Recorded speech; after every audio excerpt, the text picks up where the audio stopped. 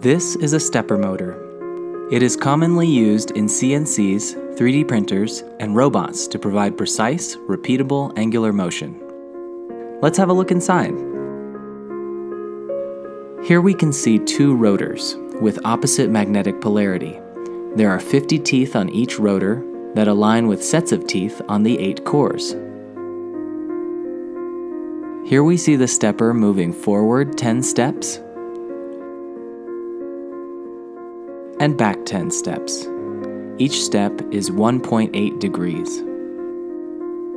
A magnetic dipole is induced by running current through copper coils wound around the eight steel cores. Because of their mechanical simplicity, stepper motors are inexpensive and easy to incorporate into a vast range of projects.